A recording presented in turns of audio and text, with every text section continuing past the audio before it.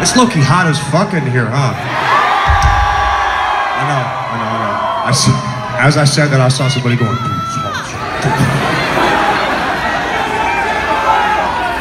Yeah, well, I didn't wear this khaki fucking suit for nothing, so we're fucking going till I say we're stopping, you sweaty fucks.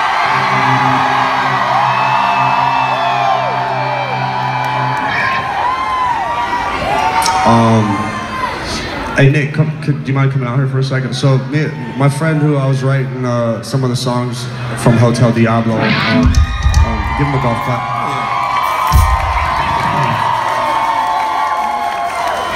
We were in the studio, and uh, I mean, when I, when I wrote "Let You Go," I was essentially trying to write this song, and I was like, uh, we were in there, we we couldn't think of shit, and then this motherfucker started playing the illest guitar riff I could have ever dreamed of in a session happening, and it sounded just like this. So if you don't mind Seattle, I'd like to sing a song. Watch me take a good thing and fuck it all up in one night. Catch me, I'm the one on the run away from the headlights. No sleep, up all week, wasting time with people that don't like.